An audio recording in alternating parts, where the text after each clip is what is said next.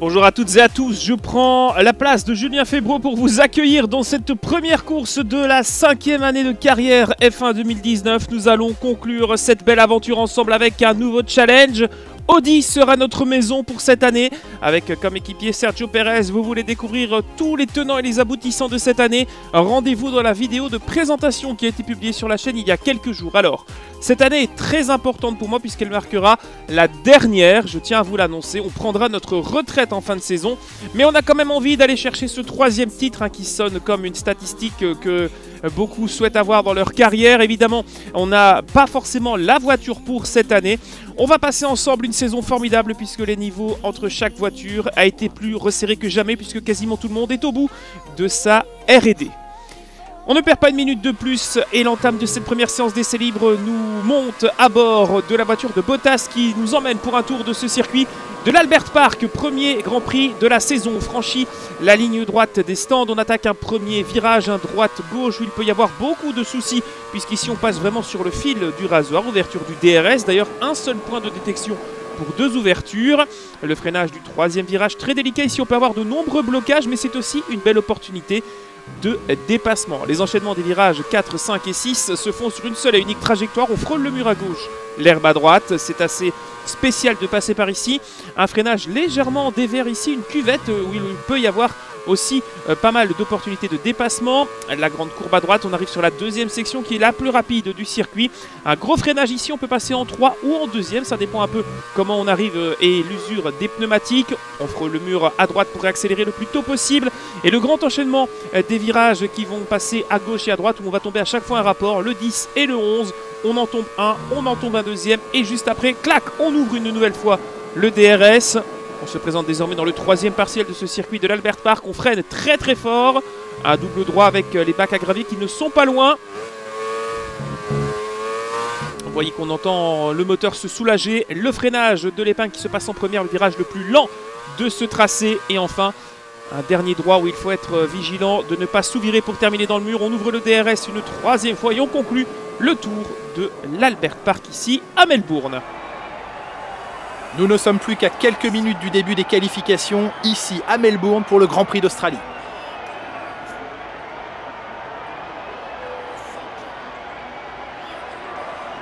Avant le début de cette séance de qualification qui, on l'espère, nous réserve son lot de surprises, pourriez-vous nous révéler comment un pilote doit s'y prendre pour tirer le meilleur parti de sa monoplace?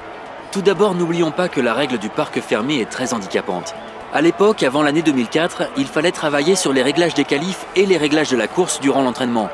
Et on passait de l'un à l'autre après la séance de qualification. Parfois, la voiture de course était très différente de celle des qualifications. À l'heure actuelle, il faut trouver un compromis adapté aux deux configurations. Il est tout de même possible d'ajuster certains paramètres pendant la séance, comme le différentiel, l'équilibrage des freins et l'inclinaison de l'aileron avant. Mais c'est à peu près tout. Il faut donc optimiser les éléments dont on dispose et adapter son style de conduite aux conditions du circuit. Moment historique dans l'histoire de la Formule 1 moderne. Pour la première fois, une Audi va participer à un Grand Prix officiel. Premier Grand Prix de l'ère V8 hybride. C'est parti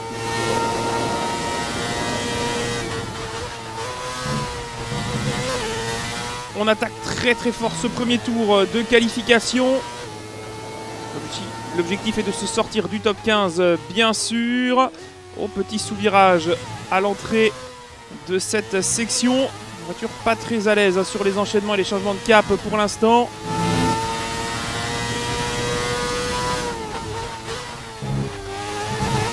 Petit peu large de nouveau ici, on attaque très fort Hamilton. Pour l'instant, le plus rapide sur la Red Bull. la balance de frein qui est assez décise là, un peu trop euh, sur l'arrière. On a perdu la stabilité dans cette section.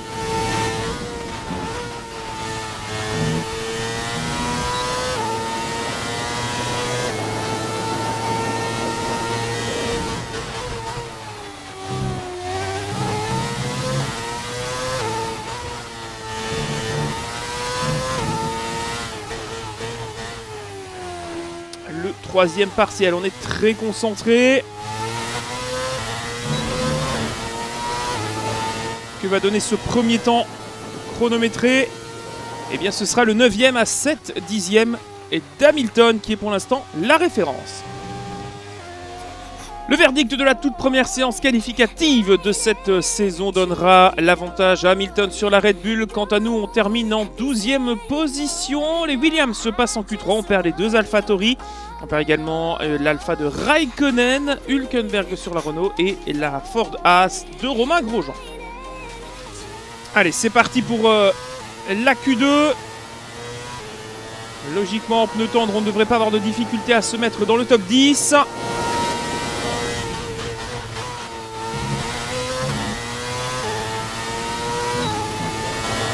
Peu large à la sortie du premier S. Ah, pour mon premier Grand Prix, j'ai pas trop envie de risquer les médiums en Q2 verra peut-être euh, plus tard. Pour l'instant, restons sur euh, une stratégie très traditionnelle, un peu conservatrice, je l'admets. Mais je vais voir où cette première course nous mène. Incisif sur l'entrée du S. C'est bien, pour l'instant c'est un beau chrono. La voiture qui réagit bien.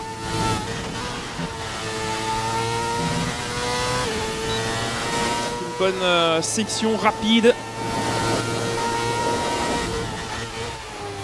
Avec les gros freinages pour l'instant, ça la déséquilibre beaucoup. Chose que je n'avais pas avec la Red Bull, c'était son point fort d'ailleurs. Là, elle attaque au freinage qui est pas encore bien réglé. Faut que je m'habitue également à l'auto. Alors, est-ce que ça donne euh, un chrono suffisant pour la Q3 Ouf, euh, ouais, meilleur temps pour l'instant. Meilleur temps pour l'instant, mais il reste encore 3 minutes dans cette séance. On a été généreux sur les bords de piste, mais euh, pas pénalisé, donc c'est legit. Autour de Sébastien Vettel de réaliser le meilleur temps de cette deuxième séance devant Hamilton. On est troisième avec la Racing Point, on est dans les temps des voitures de tête. Un dixième pour quatre voitures, c'est quand même pas mal. On trouve ensuite Sainz sur la seule McLaren qui a réussi à se hisser en Q3. Leclerc, Perez, notre équipier, sera 7ème. Ensuite, Bottas, Butler, Weber. Donc, c'est assez intéressant. Euh, pas de Williams en Q3 malheureusement et on perd la Mercedes de Stroll et la deuxième As de Gasly. Si l'espace d'une séance on a espéré pouvoir jouer les troubles faites en Q2, on s'est ravisé et on ne sans doute sera même pas en première ligne de ce premier Grand Prix. On va voir où nous mène cette première séance qualificative. La Q3, la lutte pour la pole, c'est maintenant, il reste 2 minutes 35 dans la séance.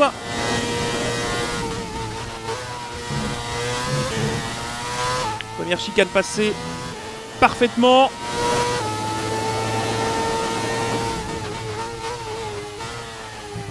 En seconde ici.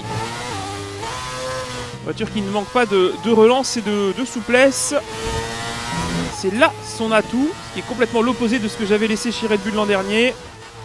on fait un bon premier partiel. Nous sommes dans le mauve.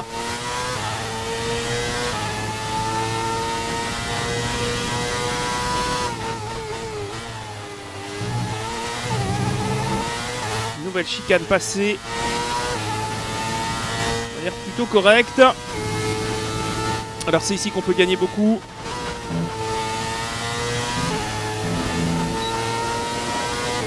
On reste sage sur les track limits.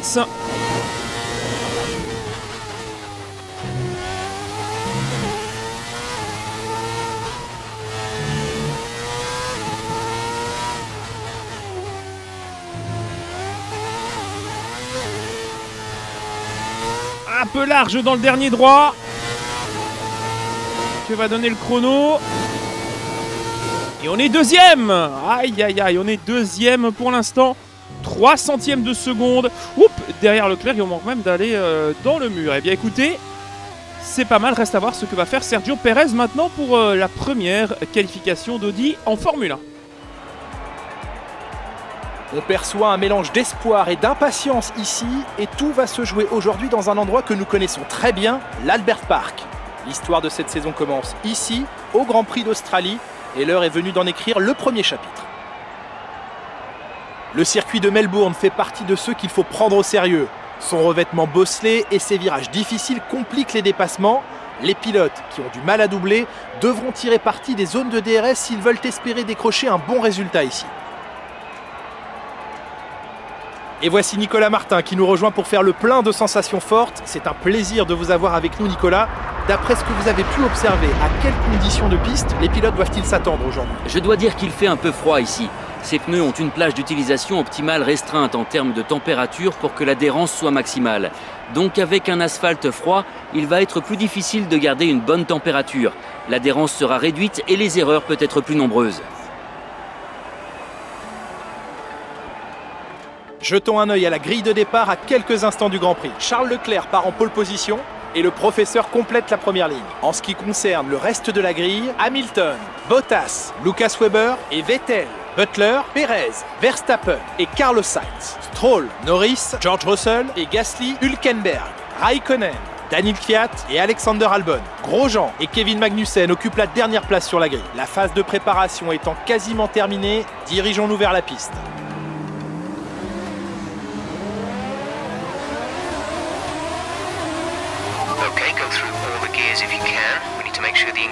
Is okay before the start. We're going to want to put some temperature into the tyres and brakes. We need to keep the engine cool though, so don't go too high with the revs. Nous sommes à un tournant de l'histoire de cette euh, compétition. Les V8 hybrides ont pris l'avantage. Pour la première fois, nous avons Audi sur une grille de Formule 1 avec 4 moteurs, 2 dans les voitures officielles, 2 dans la petite écurie Williams. Il y a donc deux nouveaux, nouveaux motoristes sur les deux dernières saisons. Ford continue d'équiper Haas en devenant Ford Performance by Haas.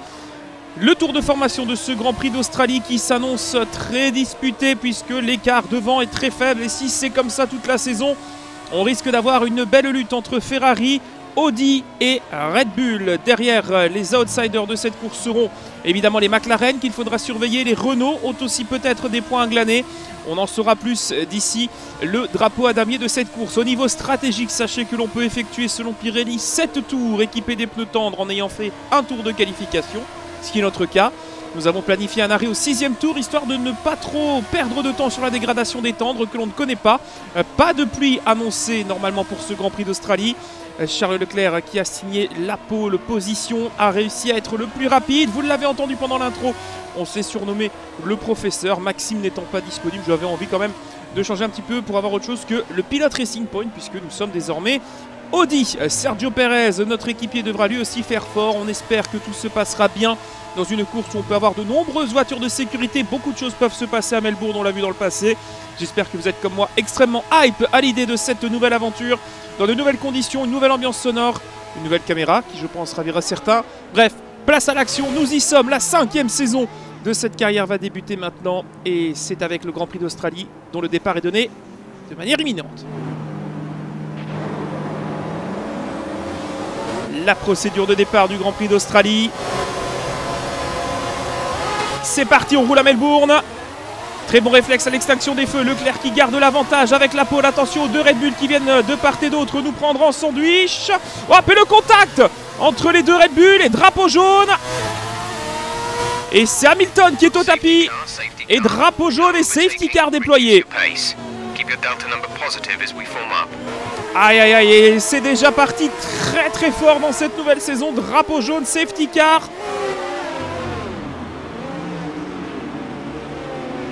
Mauvaise surprise pour euh, le pilote euh, Red Bull qui a été piégé par son équipier, je crois. Hein.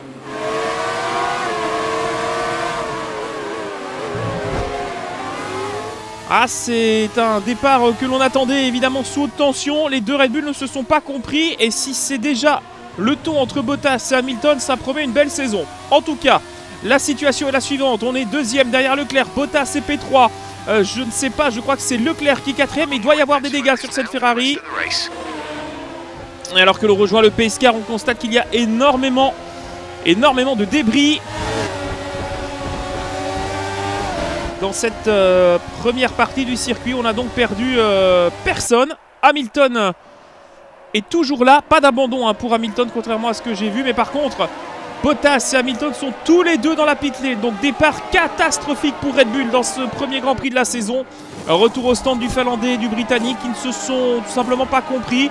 Euh, peut-être pas vu aussi. On était au milieu du jeu de qui hein, Attaqué à gauche par l'un, à droite par l'autre. En tout cas, la résultante de tout cela, eh c'est qu'on hérite de la deuxième place. La Ferrari euh, de Vettel est troisième. Pas de dégâts hein, finalement, puisqu'on pensait qu'il était un peu en retard, en ralenti. Mais non, il gardait son delta.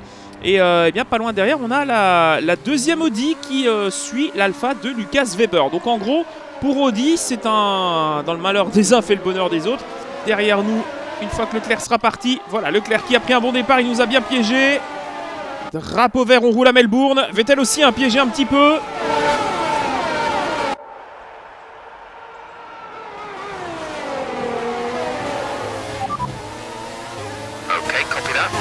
Et on nous fait aller jusqu'au 9 tour maintenant pour monter les médiums. On va garder cette option. On a gagné 3 tours de vie. Et vous savez, plus on fait des tours avec ces pneus-là, mieux on se comporte. On a donc, je le rappelle, les deux Ferrari et les deux Audi dans le top 4.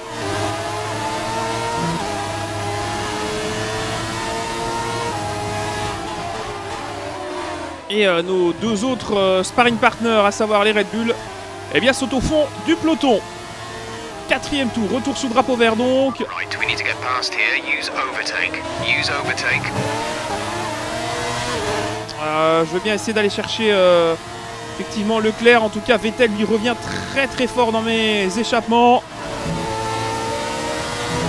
J'attends vraiment le DRS. Faut pas être largué hein, par rapport à la voiture de tête. En tout cas, pour l'instant, la fiabilité de CV8 hybride est au rendez-vous. Pas de casse mécanique. Malgré les contraintes d'un safety car qui a ralenti et fait chauffer tout le monde.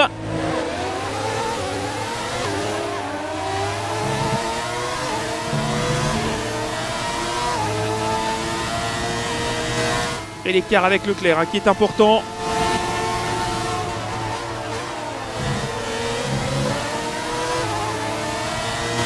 Charles qui euh, profite euh, de ce premier tour clair pour réaliser le meilleur tour en course. C'est le premier véritable hein, tour clair de ce premier Grand Prix de la saison. En tout cas, on continue euh, de solliciter le RS. Et on signe le premier partiel dans le mauve. Ça, c'est intéressant. Et pourtant, on ne s'extrait pas forcément de la Ferrari de, Vettel et de Leclerc. Donc, c'est euh, assez intéressant.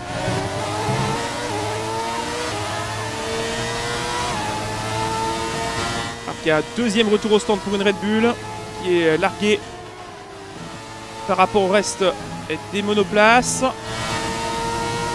vient le voir sur la minimap. Auton scindé en deux. Il aussi qui est au ralenti. Sur les freins, je suis vraiment pas à mon aise. Oh et l'abandon de Pierre Gasly sur la Ford As. L'abandon du Français qui doit renoncer. Oh et Hülkenberg aussi. Oh, ce serait bien un accident entre les deux. On va voir ça en, en insert, vous le verrez euh, pendant le Grand Prix. Mais euh, l'abandon de la Renault et de la Haas Ford sont euh, sans doute corrélés. Dans la tête de course, pour l'instant, Leclerc continue de s'échapper. Il est plus rapide que nous. Nous, on tente de garder le rythme avec derrière Vettel et Perez qui reviennent.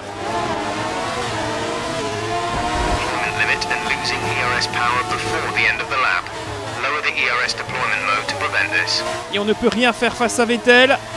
We're approaching the pit window. You'll be on mediums. Vettel qui est plus rapide. Et on va laisser également Perez passer. Pourquoi? Parce qu'il semble plus en mesure d'aller chercher la Ferrari que nous. On va jouer l'équipe pour l'instant. Et drapeau jaune. Et la Renault qui est arrêtée. On n'a pas encore vu la Haas sur la piste, mais le drapeau jaune est toujours présent dans ce premier partiel. 30% sur le train arrière, ça va être compliqué. Je pense d'aller faire mieux. Je pense pas qu'on va pouvoir aller jusqu'au bout en termes de pneumatiques. Si Perez ne rentre pas, on va le faire maintenant. Voilà, on va rentrer en même temps. Changement de stratégie chez Audi. On a réactivé tout juste le limiteur. En tout cas, euh, on se cale sur Vettel. Et j'ai pas pu ressortir. Et on va être devant la Ferrari par contre. On a eu un problème au moment de relancer la voiture. Mais on est devant la voiture de Vettel. Assez euh, cafouillage cet euh, arrêt au stand. On est plus chez Red Bull, on le sait. En tout cas, on est devant la voiture de Vettel et on a maintenant le DRS et des gommes correctes. Alors le peut-être l'undercut suffira à récupérer notre deuxième position. C'est pas un mauvais move ce qu'on vient de faire puisqu'on a assez de vie euh, dans ces gommes médiums pour aller largement au bout de ce Grand Prix d'Australie. Et beaucoup de monde dans la pique et on a peut-être évité également d'être gêné dans certaines euh, conditions. Alors ça ressort déjà pour euh, la voiture de, de Leclerc. On va être derrière Leclerc et Weber et Perez. On fait l'extérieur, on touche l'Alpha. Oh, ça a été serré, la Ferrari qui va insister. Oh, et on passe malgré tout devant Lucas Weber. On récupère une belle position puisque la Ferrari derrière nous était retenue par l'Alpha. C'était serré. Et le pire, c'est que dans l'affaire, on n'a rien cassé. On est donc derrière Perez. Imaginez, Leclerc casse son moteur, on fait un doublé. hein. Je dis ça, je ne dis rien. En tout cas, la fiabilité de l'écurie Ferrari n'est pas la même qu'il y a un an ou deux. Donc ça m'étonnerait quand même qu'on ait euh, Perez qui vienne euh, jouer à ce point-là les héros. En tout cas, on a bien fait de le laisser passer parce qu'il a quand même pris une belle avance. Par contre, derrière, ça devient plus compliqué à gérer avec euh, notamment euh, Lucas Weber. On va remettre un petit peu de RS dans la balance. 9 des 15 tours de course. Et euh, déjà quelques, quelques abandons. Hein. Hülkenberg, Gasly après euh, l'incompréhension des Red Bull. On pensait qu'Hamilton avait dû abandonner, mais non. La suspension de la Red Bull est bien solide. D'autres monoplaces encore dans les stands. Il y a d'ailleurs une Red Bull hein, qui est en deuxième place. Oh, l'attaque euh, à l'intérieur, jolie euh, de la part de Weber qui n'aura pas réussi à compléter ce dépassement. Mais c'est une très belle manœuvre de la part du pilote allemand. Je le disais, donc une Red Bull qui est deuxième, hein, on l'avait peut-être oublié. Leclerc, mais qui est deuxième, ce doit être Hamilton, puisque Bottas s'était repassé par les stands, je ne sais pas. En tout cas, il y a une Red Bull qui est deuxième, semble-t-il à la régulière, mais avec des pneus hard qui vont s'écrouler d'ici quelques boucles. Et nous, on s'écroule aussi, là, on est parti large. Dans cette section première faute de ce Grand Prix, dans le dixième passage du premier partiel, on a fait une petite erreur. Et pour l'instant, ce Grand Prix qui se déroule pas si mal que ça hein, pour euh, Audi. On de fiabilité pour l'instant, deux casses euh, sans doute mécaniques ou en tout cas une certaine avec Hülkenberg, mais euh, la lutte devant s'annonce extrêmement, extrêmement serrée entre Audi, Ferrari et Red Bull. Et je pense qu'on peut avoir Alpha hein, en juge de paix pour que tout le monde s'entende bien. Les points pris par Alpha vont compter double, je pense, pour certains Grands Prix. Alpha qui d'ailleurs, vous l'avez vu pendant la présentation des écuries avant ce Grand Prix d'Australie, était l'écurie avec la meilleure progression en termes de performance. Alors, nous on continue d'attaquer, même un peu trop, vous le voyez. On cherche les limites, en tout cas on consomme pas de carburant, ça on le découvre aussi hein, dans le rythme de course. Une voiture qui gère bien sa consommation. On va donc pouvoir être un peu plus généreux avec les marges d'essence, puisque là on était euh, vraiment sur du très très très très safe.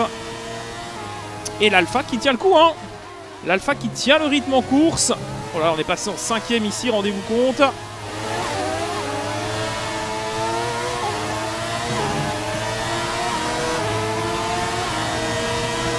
Attention à la voiture de Lucas Weber qui tente de nous attaquer.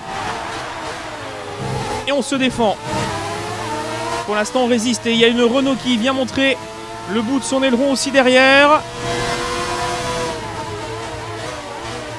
Ah oui, c'est très serré en tête.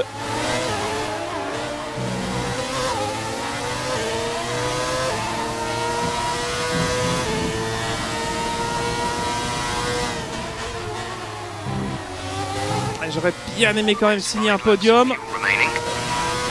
Pas de souci au niveau du carburant.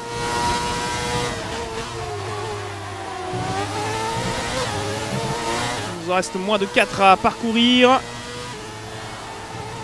Alors que Verstappen vient de récupérer la cinquième position de ce Grand Prix.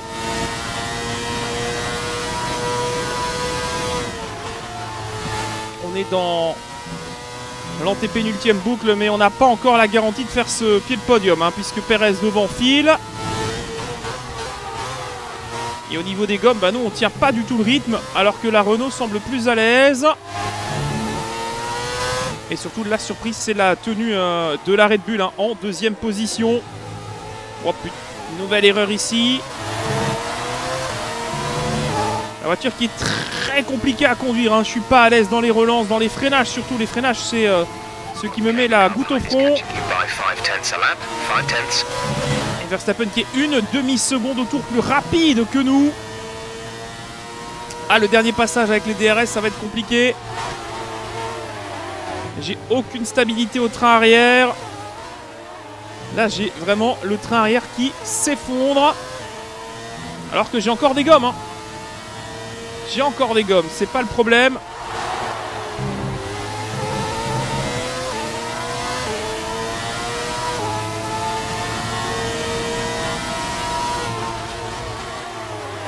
Peut-être accumulé trop de carburant et la balance est fortement affectée. On n'a rien touché non plus, donc euh, c'est difficile de voir où est le problème. Peut-être l'usure des gommes, la phase descendante des, des médiums qui crée cette euh, instabilité. En tout cas, Perez est revenu sur les talons de la Red Bull.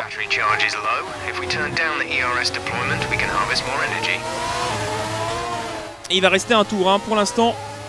Un tour de course dans cette première épreuve de la saison qui aura déjà été extrêmement mouvementée. On a appris beaucoup de choses, mais il faut tenir, il faut tenir absolument. Et drapeau jaune. Et deux voitures à l'abandon, c'est fini pour Russell. L'attaque de Verstappen. On essaie de croiser. Le néerlandais, on y parvient. Dans un soubresaut de résistance On bloque tous les deux nos roues. On se touche il est passé finalement Quel combat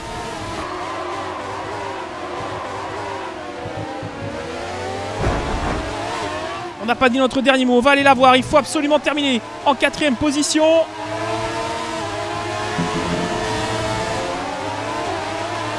Attention parce qu'on a un drapeau jaune devant, il y a deux voitures qui étaient arrêtées. J'ai vu que c'était terminé pour George Russell, mais c'était pas le seul à l'arrêt. hein. Donc il y a encore eu un, un accrochage. Allez, cette section va être décisive pour euh, l'obtention ou non euh, de cette quatrième place.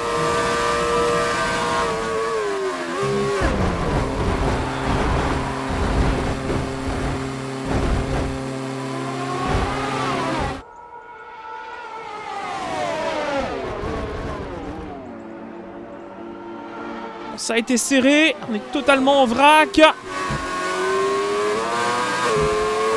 On n'a plus de pneus, on pourra pas. On ne pourra pas aller le chercher, je pense. Verstappen aura été plus fort sur la gestion de la course. Et on va terminer vraiment sur les rotules. Attention tout de même à la voiture de le, Lucas Weber qui va nous doubler Eh oui, eh oui, la voiture qui s'est totalement effondrée dans les derniers kilomètres. Eh bien, ça s'annonce très compliqué comme euh, voiture à gérer.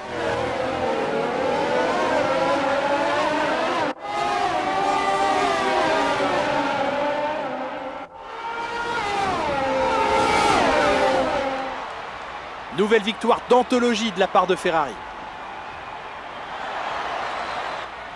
À votre avis, Nicolas, qu'est-ce qui a fait qu'il a pris le dessus sur les autres aujourd'hui? La voiture de sécurité a complètement changé la donne. Impossible de savoir ce qui se serait passé sans cette intervention. Mais il est clair qu'ils ont très bien géré la situation. Et voici les vainqueurs du jour. Une course palpitante et un exploit formidable de la part de Ferrari. L'histoire se répète et les fans du monde entier ne seront pas surpris de les revoir se hisser à la première place aujourd'hui.